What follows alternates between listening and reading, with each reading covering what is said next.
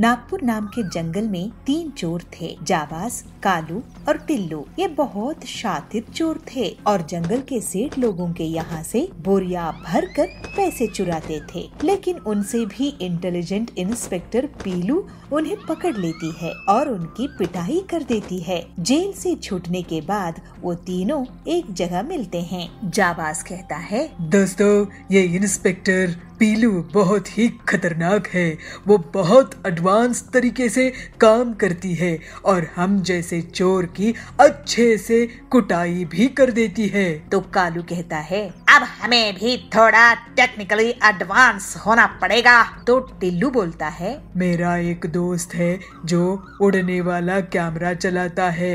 हम पीलू के सामने ही चोरी कर लेंगे और उसके हाथ भी नहीं लगेंगे। तो जाबाज कहता है, बहुत अच्छा टिल्लू। अपने दोस्त को बुलाओ। फिर टिल्लू का दोस्त आकर उन्हें उड़ने वाला कैमरा ऑपरेट करना सिखा देता है। फिर तीनों घर में डाका डालते हैं और ड्रोन में बांधकर उसे दूसरे तरफ़ भेज देते थे। पुलिस के सिर के ऊपर से ड्रोन से चोरी हो जाती थी और पुलिस कुछ नहीं कर पाती थी। ऐसा बहुत दिनों तक चलता रहा। पीलू सोच में पड़ जाती है कि वो तीनों चोरों को सड़क में ही देख रही है, लेकिन चोरिया लगातार हो रहे हैं। मुझे तो अभी अभी इन तीनों पर ही चोरी का शक है। ज़रूर ये चोरिया कर रहे हैं, लेकिन कैसे? मुझे इन पर ज़मीन के साथ साथ आसमान में भी नज़र रखनी होगी। फिर एक बार जब कड़क सेठ के घर चोरी होती है और पीलू उसके घर की तरफ़ जाती रहती है तो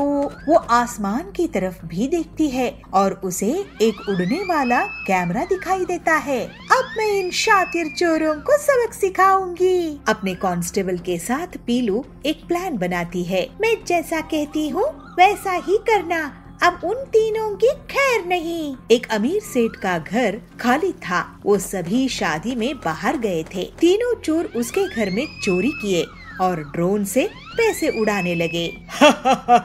देखो पीलू मैडम कितनी बेवकूफ़ है। तो कालू कहता है कंगाल कर देंगे और पुलिस देखती रहेगी। तो टिल्लू बोलता है बहुत होशियार बन रही थी पीलू हमारी कमर तोड़ दी, पिटाई कर कर के ड्रोन हवा में उड़ रहा था। तभी वहाँ पर पीलू और उसके दो और कांस्टेबल पतंग में उड़कर उस ड्रोन को गिरा देते हैं। ये देखकर जाबाज, टिल्लू और कालू चौंक जाते हैं। अब मैं तुम तीनों पर मुसीबत बनकर गिरूँगी, ऐसे पीलू कहती है। फिर पीलू उस लूट के पैकेट को उन तीनों पर फेंक देती है और वो जैसे ही उसे कैच करते हैं, पीलू और उसके कांस्टेबल उन्हें पकड़ लेते हैं। लो, पकड़े गए ना?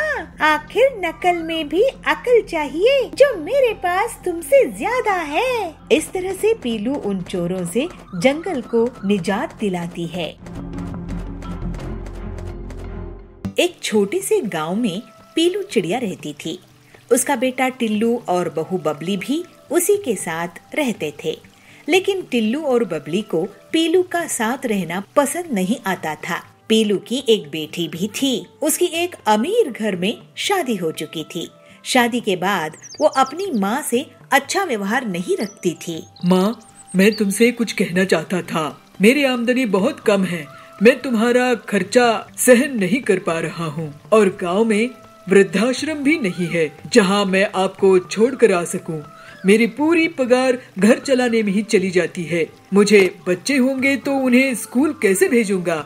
ये भी मैं सोचता रहता हूँ। कुछ दिन पिंकी दीदी के यहाँ चली जाओ। बेटा अपनी बेटी के ससुराल में मैं कैसे चली जाऊँ? चल, तुझे तकलीफ़ ना हो तो मैं ये कोशिश करके देखती हूँ। फिर पीलू अपनी बेटी के ससुराल चली जाती है।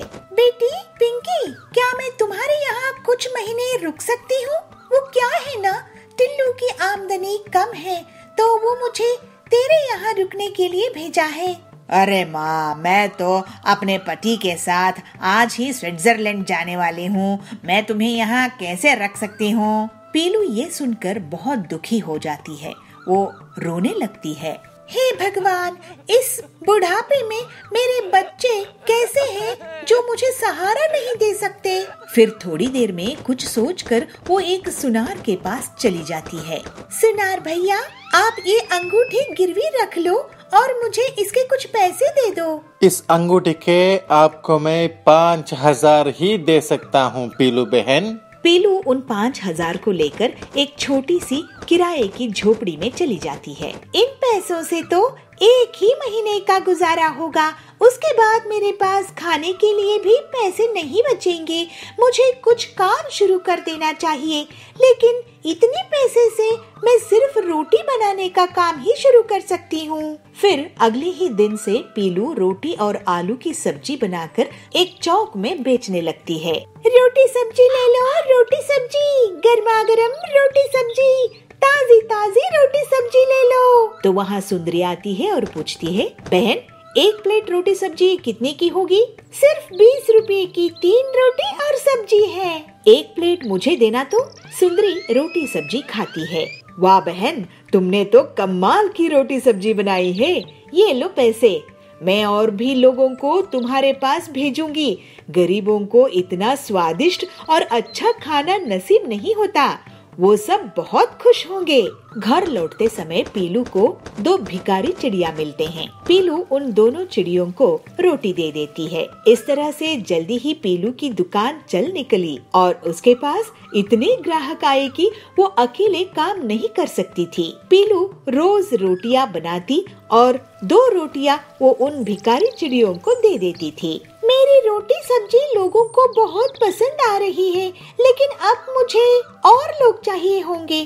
क्यों ना मैं उन भिकारी चिड़ियों को काम पर रख लूँ? सुनो, तुम दोनों यहाँ पर भीख मांगती हो। मैं तुम्हें काम दे सकती हूँ। अपनी दुकान में अगर तुम करना चाहो तो। बहन, मेरा नाम लवली है। मैं एक अमीर घर से थी, लेकिन मेरे बच्चों ने मुझे घर से निकाल दिया तो मैं यहाँ हूँ। मैं भी अच्छे घर से थी। बहन, मेरी भी यही कहानी है। हम तुम्हारे साथ काम करेंगे और मेहनत से पैसे कमाएँगे।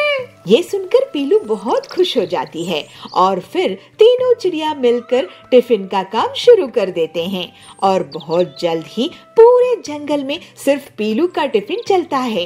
पीलू अपनी आमदनी का तीन हिस्सा कर देती है और तीनों बहुत अच्छे से रहने लगते हैं। ऐसे ही एक दिन पीलू का बेटा उसकी दुकान में आता है। माँ तुम तो बहुत मेहनती हो। मुझे माफ़ कर दो। मैंने तुम्हारा ख्याल नहीं रखा। अब मुझे पछतावा होता है कि मैंने तुम्हें किस हाल में छोड़ दिया था।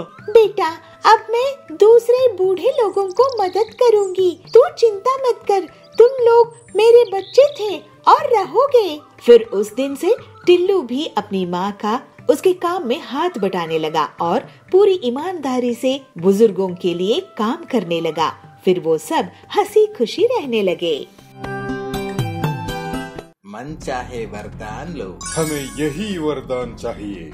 आप अपना वरदान वापस लीजिए। मेरी मति भ्रष्ट हो गई थी। गोंडा नाम की राज्य में सूरज भान नाम का एक राजा राज करता था। उसके एक बहुत ही सुंदर पुत्र था, जिसका नाम था स्वर्ण पुत्र सूरज भान अपने पुत्र से बहुत प्रेम करता था, मगर उससे भी ज़्यादा वो प्रेम करता था स्वर्ण पे। इसीलिए अपने पुत्र का नाम भी स्वर्ण पुत्र रखा था। उसकी खजाने में सोने का भंडार था। उतना सोना दुनिया के किसी भी राजा के खजाने में नहीं था। इसके बाद भी खजाने में जितना सोना बढ़ता, सूरज भान की सोने की लालच भी अधिक होती जा रही थी। उसका दिन का अधिकांश समय खजाने में ही निकला जाता था। सोने की लालच की वजह से अक्सर वो अपने पुत्र को अनदेखा करता था। खजाने की वो कोना खाली पड़ा है, उसको भी सोने से भर देना है। मंत्री जी इस बार की फ़सल के कर और एक सोने का सिक्का बढ़ा दो। जी हाँ प्रभु मगर। अगर मगर कुछ नहीं। अरे प्रभु इतनी फ़सल तो आए जो वो कोना भर दे। मंत्री की बात सुन के राजा को लगता है कि यह काम नहीं करने वाला है मगर उसकी सोने की लालच इतना बढ़ गया था कि वह अन्न जल त्याग कर ईश्वर की कठोर उपासना में लग गया। उसकी तपस्या से प्रसन्न ईश्वर दर्शन देते हुए कहते हैं बोलो वत्स मन चाहे वरदान लो क्या चाहिए तुम्हें?